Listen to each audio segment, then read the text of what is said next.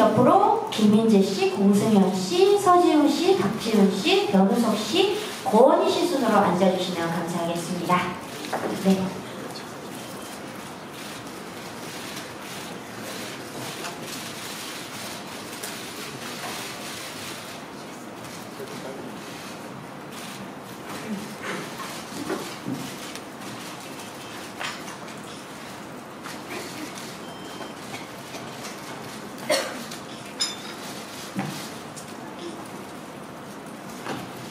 네.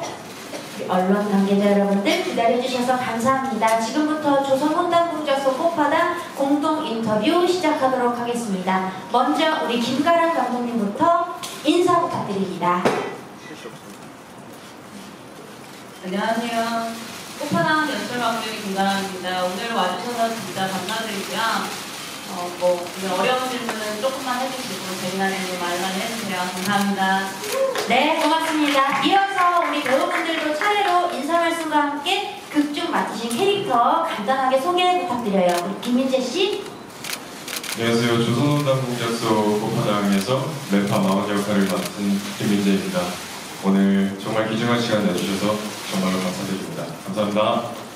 네, 고맙습니다. 홍승현 씨. 네, 안녕하세요. 저는 조선홍당 공작소 꽃파당에서 견습된 역을 맡고 있는 대동이 공승현입니다. 반갑습니다. 안녕하세요. 저는 공작소 꽃바닥에서 대장장이 겸 왕 역할을 맡은 이수입니다. 오늘 와주셔서 너무 감사합니다. 네, 안녕하세요. 네, 아, 예. 조선운동 공작소에서 고영수 역할을 맡은 박지훈입니다. 네, 바쁜 시간 내주셔서 정말 감사드리고요. 어, 네, 열심히 하도록 하겠습니다. 감사합니다. 네, 안녕하세요. 조선원당 공작소 꽃파당에서 한양 최고의 정보권 도준역을 맡은 변우섭입니다. 네, 추석 연휴 끝나자마자 이렇게 많이 와주셔서 감사드리고, 네, 저도 열심히 하도록 하겠습니다. 네, 안녕하세요. 코파단에서 후대 높은 아씨 주아 역할을 맡은 고원입니다. 네, 이렇게 자리 정말 감사합니다.